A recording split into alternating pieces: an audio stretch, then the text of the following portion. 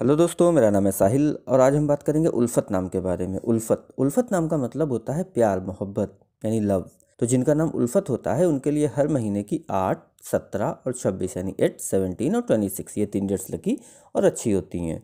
अगर बात करें इनके लकी डे, यानी लकी दिन की तो लकी दिन इनके लिए सबसे बेस्ट रहेगा सैटरडे, यानी शनिचर। शनिचर का दिन इनके लिए बहुत अच्छा दिन है।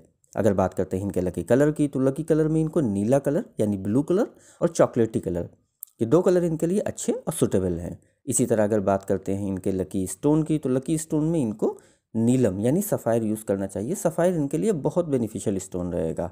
अगर बात करें इनके लकी नंबर की तो लकी नंबर है इनका चार, यानी फोर फोर नंबर इनका लकी नंबर है।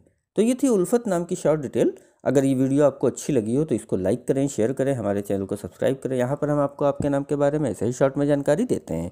अगर आप अपने नाम के बारे में और डिटेल के साथ जानना चाहते हैं तो इस वीडियो के डिस्क्रिप्शन में आपको एक लिंक मिलेगा, वो हमारा नया चैनल है। वहाँ पर हम आपको आपके नाम के बारे में फुल डिटेल के साथ वीडियो बना के प्रोवाइड करवाते हैं। तो अगर जानना चाहते हैं अपने नाम के बारे में डिटेल के साथ तो हमारे उस चैनल पर जाइए, उसको सब्सक्राइब करिए और कमेंट बॉक्स में अपना नाम लिखिए।